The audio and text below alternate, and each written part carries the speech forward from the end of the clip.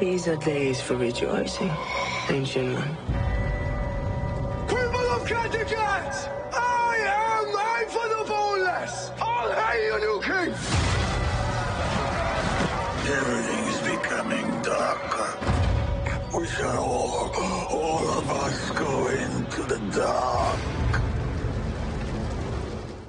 Fuh, det er så Der er lidt drama. Ja, det er så dramatisk. Og meget dyb stemme. heller ingen nisser. Der, Der er heller ingen nisser. Ej. Men hvad der til gengæld er overflod af, det er vikinger, ikke? Jo. Alex Høgh Andersen, Der er velkommen ikke- der her. er- Tak, tak. Der er ikke meget kontanthjælp eller kys på munden, kan jeg godt forstemme. men, men, Men blod. Men der er blod, og der, der er sjove kampscener. Og, Og du er over vikingen, for du spiller hovedrollen i HBO's kæmpe tv-serie. En af de mest populære tv-serier i verden. Millioner af mennesker ser den. Folk får tatoveret dit ansigt på sig. Folk står i kø 6 timer for at få en selfie med dig. Bliver du ikke nødt til lige at knibe dig lidt i armen? Ja, det, det skal jeg da godt mærke, at jeg skal gøre nu. Tak for det. No kommer igennem det her nu. Det kan da, oh, Jesus Kristus. Øhm, det er ret vildt. Det er sjovt. Der er godt nok smæk på for tiden. Øhm, men øh, det er først det, det bliver sjovt. Ikke? Øh, heller den det modsatte, så at sige. Øh, men der, jo jo, altså jeg kan da godt huske, at jeg lige øh, kan se, at den første tatovering øh, kom ind i indbakken, om man vil. Øh, der tænkte jeg, nå, for pokker, så skal jeg være på inderlåret af den her rosa resten af livet. Øh, og det tænkte jeg var lidt småmærkeligt. Øh, men så, så popper de op, og nu er der, det ved jeg ikke, 15-20 stykker, og så tænkte jeg, nå, så må jeg tage den med. Så... Sisse og Remy, har I, har I set Vikings på HBO? Har I været inde over den? Jeg har Ja, kan jeg ja, godt har du- Jeg ser ingen serier overhovedet, faktisk. Så jeg så bare den der klip og tænkte, gud, det er da crazy at have Ja, i sådan en. Min sviger, altså Mathilde, min kærestes søster, hun elsker den. Og, hun snak, og, og jeg har hængt ud med Alexander ja, på gange, som også spiller i den. Og jeg, har, jeg sad faktisk og ærgerede mig over, at jeg ikke har forgjort men når du har en treårig derhjemme, vi ser Gurli Gris 80 procent af tiden. Det er ikke, det er ikke så meget, øh, det er og- ikke tre år i... Altså, det, jeg er i Gurli Gris-fasen nu, og det har været, det har været et stykke, stykke tid. Jeg ved stort set ikke andet, end hvad der foregår der. Men, men nu har du chancen så for at springe over den der 6 timers kø og få den selfie med hjem til svigerinde. Ja, ja. Nå, men, Modtaget vi skal ud og lave tatovering bagefter. Så længe jeg kan få en med selv. Øh, også. Ja. Alex, du er jo hjemme på, på, på juleferie, Ja. ja. men de sidste, er det ikke tre et halvt år, der har du sådan mere eller mindre on-off arbejdet på, på den her serie, øh, som altså har premiere på femte sæson i dag. Her Ja, det er ikke i dag. Jo, det er i Danmark. dag, sgu. Kan, kan, du, kan du ikke prøve at forklare os lidt mere, hvad, hvad, hvad, har det sådan krævet af dig de her sidste øh, tre et halvt år, og hvad- være med inde over den her serie? Det har krævet stort set alt de sidste tre et år. Altså, fordi at, Tid til- jeg studerede film- og medievidenskab på Københavns Universitet, og sagde jo bare farvel til det, da jeg fik rollen. Og så siger man farvel til familie, man siger farvel til venner, og så er der lige de her skønne sociale medier, der minder en om, hvor meget man går glip af hele tiden. Ikke? Altså, det var rigtig hårdt de første tre måneder, også fordi at du skal ud i, i udlandet og arbejde på et andet sprog, og det havde jeg sgu heller ikke lige prøvet før. Og så, så gudskelov vender man sig til det efter tre måneder, ikke? Og så kan man lige pludselig begynde at nyde det, og behøver, og du, man får noget søvn om natten og sådan noget, og, og man skider ikke grønne grise hele tiden og sådan noget. Det, det er meget cool. uh, og så de sidste tre og et halvt år har bare været non-stop. Vi skyder 20 episoder af, af sådan solid 45-50 minutters uh, tv, som jo er øh, optagelser, hvor vi er på toppen af et bjerg, og vi er i dybe skove, og der skal stadig, de 300 statister skal stadig op på toppen af bjerget. Så det er jo ikke bare en sitcom, hvor det er nemt lige at skyde i tre forskellige locations, og så, så fyrer man 20 episoder af på den måde. Det tager 11 måneder at skyde 20 episoder. Altså, du afbrød jo din øh, universitetsuddannelse for at være med i serien, og du har jo ikke fået nogen skuespiltræning, men du ser det her som din uddannelse. Ja, det må det jo være, ikke? Uh, det håber jeg, at uh, kasterne også ser det som. God lang og hård uddannelse. Ja, ja, absolut. Ja, ja. Jeg har i hvert fald fået min praktiske erfaring, det er helt sikkert. Jamen, det er også fedt, at, at, at altså, det er en fantastisk mulighed at komme ind og kunne arbejde så meget i dybden med, med noget, hvor andre de måske får en film, og så går der to år, før der sker noget igen. Og sådan. Det er fuldstændig rigtigt, fordi at når man laver en tv-serie, der får man man med lov til at gå i dybden med tingene, nøjagtigt som du siger, og man får lov til at lære den her skiderik, som han er, min karakter, ja. ny af, øh, at, at bad får, han får, man, man lærer ham lidt at kende, ikke? Øh, og så igen er det jo også sindssygt vigtigt som skuespiller, selvom han er en skurk, at man skal, man skal Men- også passe på ikke at dømme ham for meget. Men Alex, det her med ligesom at være kommet ind i det på sådan en autodidakt måde. Ja. Nu kigger jeg på dig, Remy, for du har jo været i musikbranchen en hulens masse år. Og sådan som jeg har øh, sådan kunne research mig frem til, også når jeg snakkede med dig, så, så er du jo også kommet ind på, øh, på, øh, i den her branche, ikke med en eller anden lang, lang, lang uddannelse bagagen. Sådan, kan, du, kan du sætte dig ind i den måde, som Alex også ligesom har grebet øh, tingene an på? Ja, men altså, jeg ved, jeg ved stadig ikke, hvad for nogle akkorder jeg spiller på en guitar. Jeg, ved- jeg, jeg ved, jeg har skrevet 50 sange over de samme fire akkorder.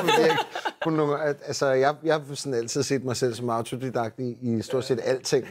Så, øh, så det kræver så også en enorm disciplin selvfølgelig, og vedholdenhed. Det er jo fantastisk, at du har kunne gå ind og tage sådan en så stor en opgave og, og rykke så meget igennem med det. Det er vildt imponerende. Altså, jeg, jeg, det, jeg synes, problemet med at være autodidakt for mig, det er altid det der, man er altid i tvivl om, om man overhovedet kan noget som helst. Sådan rigtig, rigtig. Tvivler på sig selv, eller hvad? Ja, men du kan godt have den der lidt, "Men kan jeg egentlig, altså, eller var jeg bare heldig? Så jeg, jeg tror, jeg har arbejdet så meget hele mit liv for at blive hele tiden overbevist mig selv om, "Ej, okay, nu gik den så alligevel. Øh, alligevel ikke? Det Øhm, tænker jeg da også, når jeg er færdig med det her på et eller andet tidspunkt, og ikke har noget arbejde. Hvad skal jeg så gøre? Jeg står stadig uden noget diplom. Altså, og så, ja, jamen, så kan det være, at du har fået en masse følgere på Instagram, og du er blevet kendt og sådan noget. Ja, men jeg ved, jeg kan sgu da stadig ikke skuespille. Jeg har lavet én karakter i mit liv. Altså, kom nu, man. Giv mig en chance, ikke? Altså, Lad os se lidt mere af den karakter. Så nu har vi jo siddet og sagt, at uh, Vildt Rotal, hvis der er nogen, der ikke har set det, vi sætter lige et lille klip, og så vil jeg lige sige, hvis der sidder børnefamilier derude, det er lige til den, det er lige til den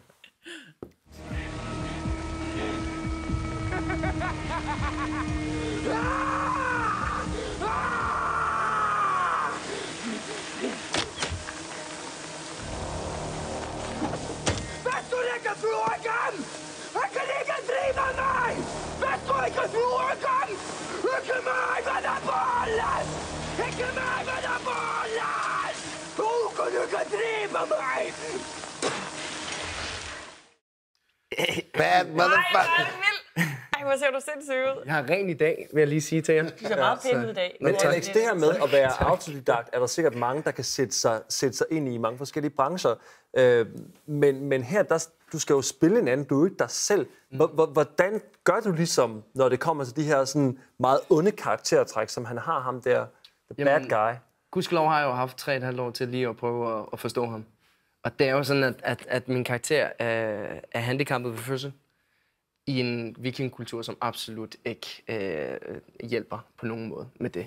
Øh, han bliver faktisk efterladt i skoven som lille spæd, fordi hans far godt kan se på det hele. Han kommer nok ikke til at overleve. Øh, så det er jo sindssygt cool, at, øh, at han øh, har så meget øh, gå på mod, på trods af, at, øh, at han ikke kan noget. Og at alt er øh, tre-fire gange så hårdt for ham. Så han er faktisk en vikingssøn af en viking Fuldstændig.